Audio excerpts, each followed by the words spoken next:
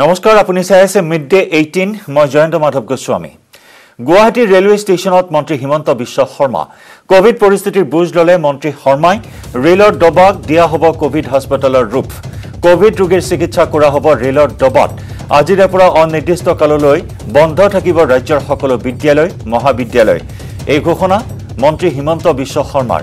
আজি গুৱাহাটী ৰেলৱে ষ্টেচনত উপস্থিত হৈ মন্ত্ৰী হিমন্ত বিশ্ব শৰ্মা কভিডৰ শেহতীয়া পৰিস্থিতি পৰ্যবেক্ষণ কৰি ৰাজ্যৰ সকলো বিদ্যালয় মহাবিদ্যালয় অনিৰ্দিষ্ট কাললৈ আজিৰে পৰা বন্ধ থাকিব বুলি মন্তব্য কৰে মন্ত্ৰীগৰাকীয়ে কভিড পৰিস্থিতিৰ বুজ ল'লে খোদ মন্ত্ৰী হিমন্ত বিশ্ব শৰ্মাই। ৰেলৰ ডবাক দিয়া হ'ব কভিড হাস্পতালৰ ৰূপ। কভিড ৰোগীৰ চিকিৎসা কৰা হ'ব ৰেলৰ ডবাত এই কথা উল্লেখ কৰে মন্ত্ৰী হিমন্ত বিশ্ব শৰ্মাই।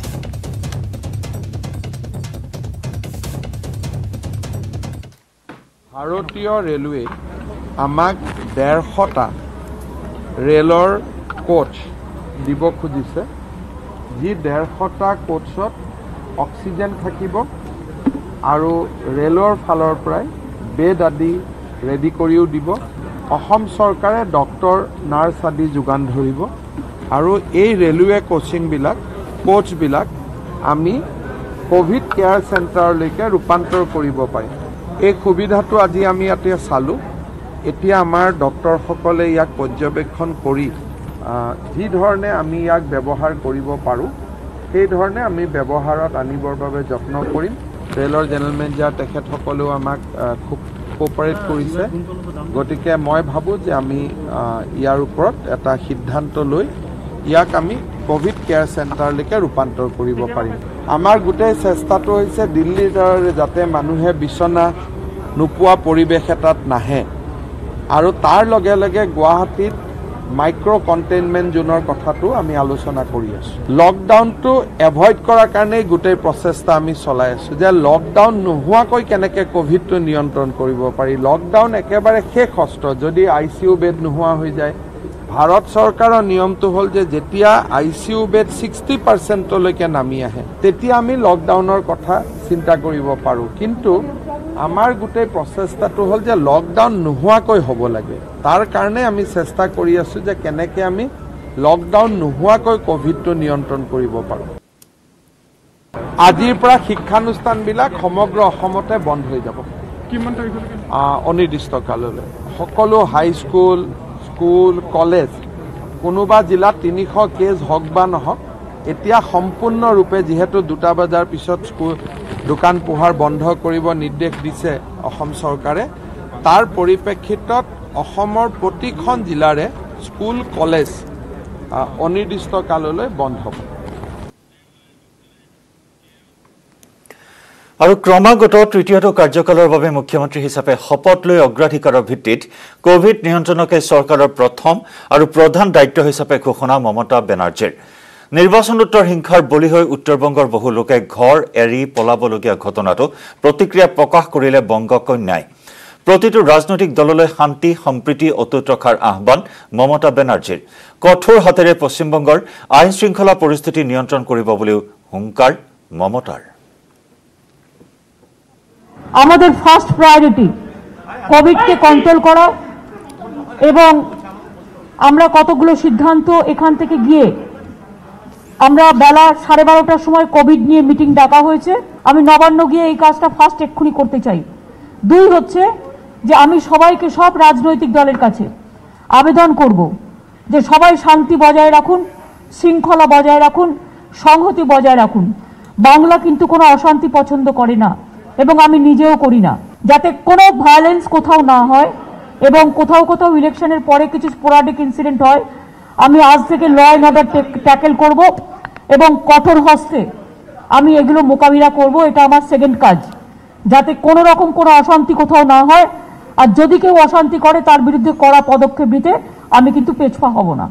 কারণ আমি শান্তির পক্ষে এটা বলতে চাই। এবং আজকেই গিয়ে আমি নতুন সেট তৈরি করব। তার কারণ তিন মাস এই সেট আমার ছিল না। সুতরাং অনেক ইনএফেক্টিভ ইনএফিসিয়েন্সি ছিল। সুতরাং বাদবাকিটা আমি অ্যাপিল কৰব কেউ যেন কাৰো প্ৰতি প্ৰতিহিংসা পৰায়ণ আচৰণ না কৰে। আৰু নিৰ্বাচনী ফলাফল ঘোষণাৰ পিছতে পশ্চিমবংগত ব্যাপক নিৰ্বাচনোত্তৰ হিংসা। চুবুৰীয়া ৰাজ্য পশ্চিমবংগৰ কোচবিহাৰ জিলাৰ বিভিন্ন স্থানত দেখিবলৈ পোৱা হৈছে নিৰ্বাচনৰ পিছত ব্যাপক নিৰ্বাচনী হিংসা। তৃতীয়বাৰলৈ তৃণমূল কংগ্ৰেছে বংগৰ শাসনভাৰ দখল কৰাৰ পিছত তৃণমূল কংগ্ৰেছৰ নেতা কৰ্মীয়ে বিজেপি আৰু আন দলৰ নেতা কৰ্মী তথা পৰিয়ালৰ ওপৰত চলায় আক্ৰমণ। তৃণমূলৰ আক্ৰমণত প্ৰাণৰ ভয়ত ঘৰ বাৰী এৰি বিজেপি আৰু আন দলৰ নেতা কৰ্মী আৰু পৰিয়ালৰ লোকে আশ্ৰয়ৰ বাবে অসমত প্ৰৱেশ কৰি আছে। গোলকগঞ্জৰ সীমান্তৱৰ্তী ৰণপাগলি গাঁৱত কালিৰে পৰা কেইবা শতাধিক পুৰুষ মহিলাই আশ্ৰয় গ্ৰহণ কৰে ক্লাব আৰু বিভিন্নজনৰ ঘৰত।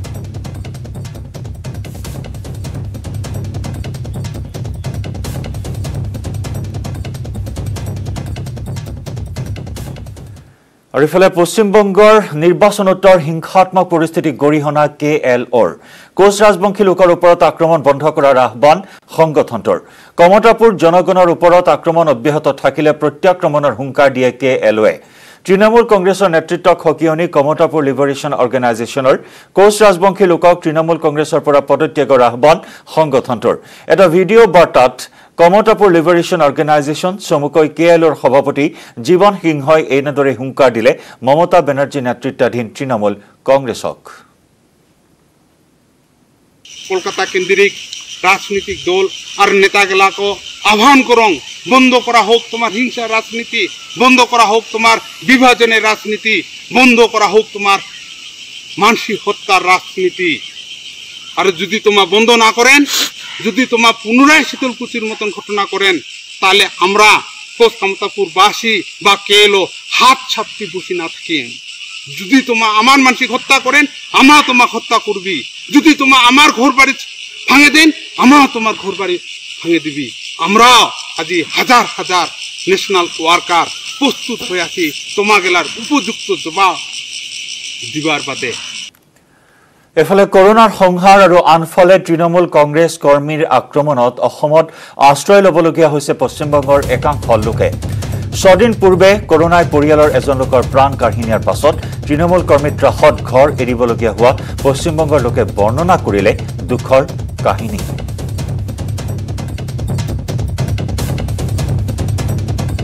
আৰু আমি দেখুৱাইছো হিংসাত্মক ঘটনাৰ কেতবোৰ। আমরা আজকে এখন বাড়িতে থাকতে পারি না।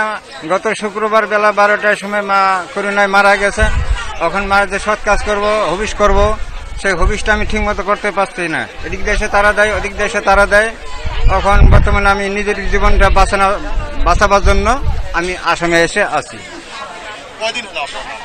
আজকে ছয় দিন হয়। গত শুক্রবারে বেলা বারোটার সময় মারা গেছেন বারোটা চল্লিশে। আজকে ছয় দিন হয়। আমরা বাড়ি ছাড়া হয়েছি যে আমরা দিদির দল করি না বিলিয়ে দিদির দলীয় লোক আমাদের উপর অন্যায় অত্যাচার, মারপিট করে এবং জীবন নামার জন্য সব সময় দা, কুড়াল এগুলো অস্ত্র ধরিয়া ঘুরে ফিরে করে রাস্তাঘাটে, যার কারণে থাকতে পারছি না। আমরা এখানে গোপালের কুটি এবং বালাভূত ঝাউকুটি এখানে প্রায় আমরা তিনশো, সাড়ে তিনশোর মতো লোক আছি। আর কিছু সমস্ত লোক আত্মীয় স্বজনের বাড়িতেই আছে আর কি। আৰু পশ্চিমবংগৰ নিৰ্বাচনোত্তৰ হিংসাৰ বলি হৈ অসমত আশ্ৰয় লোৱা শ লোকৰ হাহাকাৰ অৱস্থা এতিয়া। সীমান্ত বহুকেইখন গাঁৱত আশ্ৰয় লোৱা লোকসকলৰ সৈতে আমাৰ গোলকগঞ্জৰ সাংবাদিক গোবিন্দ অধিকাৰীৰ কথোপকথন এই মুহূৰ্তত আগবঢ়াইছো।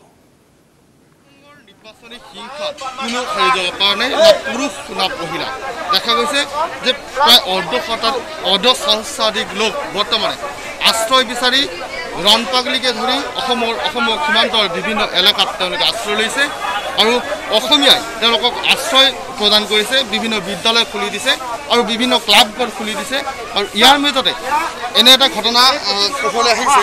আহ, যি যিগৰাকী ব্যক্তিৰ তেওঁ পূৰ্বে তেওঁ মাক ঢুকাইছিল কিন্তু মাতৃ গমতে কৰিব পৰা নাই কি মাৰা গৈছিল কবি মাৰা গৈছিল কেনে কি পৰিস্থিতি আছে আমাৰ মাথা মাৰা গেছে। কৰোনাতে আমাৰ মাথা মাৰা গেছে এই গেল শুক্রবার, আজকে গেল শুক্রবার, বেলা বারোটা চল্লিশ মিনিটে মারা গেছেন। তে মার যখন আমি যে ক্রিয়াকর্ম করব, সেই হবিষটা যে করব, সেই হবিষটা আমি এখন ঠিক মতো করতে পারতেছি না।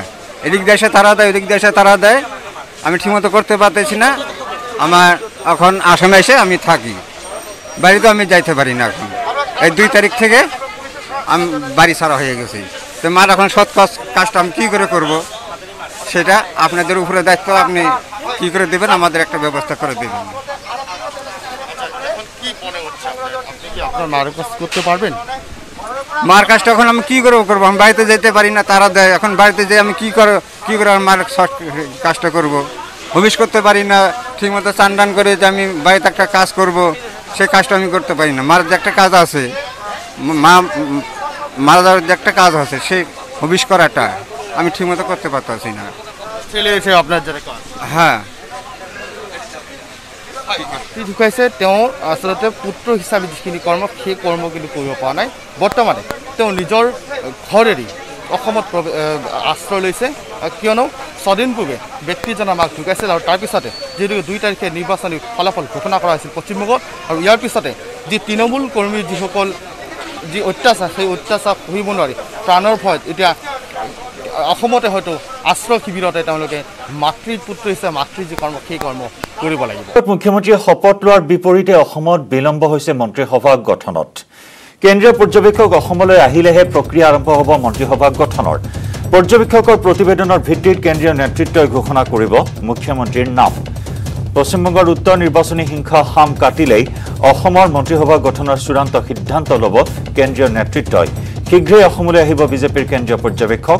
শীঘ্ৰেই গুৱাহাটীলৈ অহাৰ সম্ভাৱনা নৰেন্দ্ৰ সিং টোমৰ আৰু অৰুণ সিঙৰ। কেন্দ্ৰীয় পৰ্যবেক্ষকে আগবঢ়োৱা প্ৰতিবেদনৰ ভিত্তিত সংসদীয় কমিটিয়ে ল'ব চূড়ান্ত সিদ্ধান্ত।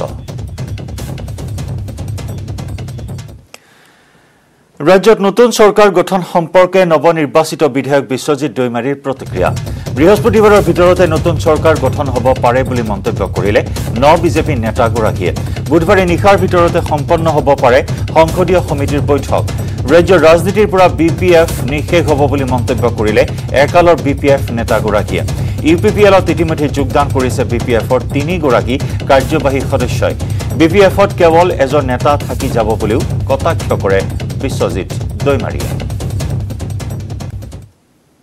বিষয়টোত যদি চাওঁ যে এতিয়ালৈকে চৰকাৰ গঠন হোৱা নাই কেতিয়ালৈ হ'ব পাৰে কি হ'ব পাৰে? হয় মই ভাবোঁ হয়তো কালিমানৰ ভিতৰত এটা কিবাটো হৈ যাব লাগে চব সিদ্ধান্তটো। আৰু সিদ্ধান্ত হৈ যোৱাৰ লগে লগে আৰু সময় নাই আৰু। মানে এদিন দুদিনৰ ভিতৰতে কমপ্লিট ফৰ্মেলিটিজটো কমপ্লিট হৈ যাব। আৰু লগে লগে আপোনালোকৰ যথেষ্ট দায়িত্ব বাঢ়িব। নিশ্চয় নিশ্চয় এতিয়া ক'ভিডটোৱে প্ৰথম হ'ব। হয়। কাৰণ এইবাৰ ক'ভিড ক'ভিড বেয়া। হয়। যিবিলাকে ক'ভিড এফেক্টেড হৈছে ডাইৰেক্টলি অক্সিজেন লাগে। আৰু আজি এনেকুৱা অৱস্থা হৈছে যে অক্সিজেনখিনিও আজি ভেণ্টিলেশ্যন বা হাই ফ্ল' নহ'লে নচলা হৈছে। হয়। কাৰণ ইমান বেয়াকৈ এফেক্ট কৰে যে মানে উশাই ল'ব নোৱাৰে। হয়। আৰু উশাহ ল'ব নোৱাৰে কাৰণে অক্সিজেনটোও আপোনাৰ কামত নিদিয়ে কাৰণ টানিব নোৱাৰে। সেইটোৰ কাৰণে ভেণ্টিলেশ্যন। বা হাই ফ্ল' যিটোদি স্পীডত অক্সিজেন নিজে সোমাই যাব। এনেকুৱা ধৰণৰ প্ৰয়োজন ট্ৰিটমেণ্টৰ ক্ষেত্ৰত। সেইটো কাৰণে খুবেই ভয়ানক সেইকাৰণে ৰাইজে নিজে সজাগ হ'ব লাগিব। যিমান পাৰে এভইড কৰিব লাগিব। বি পি এফৰ এটা প্ৰসংগ আহিছে যে বি পি এফৰ তিনিজনে ইতিমধ্যে আজি ইউ পি পি এলত যোগদান কৰিছে। গতিকে বি পি এফ আৰু থাকিব নাই অসমৰ ৰাজনীতিত? নাই ৰাজনীতিটো সেইটোৱে। যেতিয়া তোমাৰ মানে পাৰ্টি হিচাপে একো কৰিবলগীয়া নাথাকে আৰু আজি যিহেতু প্ৰায়ভাগ হাৰিয়ে গ'ল তেতিয়াতো ডেফিনেটলি বি পি এফত মানে থকাৰতো কোনো প্ৰয়োজন নাথাকে পাব্লিকবিলাক লিডাৰবিলাক থাকিব আৰু। মানে আৰু প্ৰতিনিধিলে ৰাইজৰ কাম কৰিব লাহে লাগে। লাহে লাহে দলটো নিশেষ হ'ব পাৰে। নিশ্চয় নেচাৰিলি হৈ যায় যদিও তেওঁলোকৰ পলিচি ঠিক নাথাকে। গতিকে তেওঁলোকৰ সেই সময়ত কি কৰিব কাৰ্যসূচীৰ ওপৰত নিৰ্ভৰ হ'ব যে ৰাইজৰ কাৰণে তেনেকুৱা প্ৰয়োজনীয়তা আছে নে নাই? যদি নাই তো ৰাজনীতিত সমৰ্থক বা কৰ্মী কিয় থাকিব? সেইটো চিটুৱেশ্যন আৰু ইয়াৰে সৈতে সময় হ'ল মিড ডে এইটিনৰ পৰা বিদায় লোৱাৰ। নমস্কাৰ।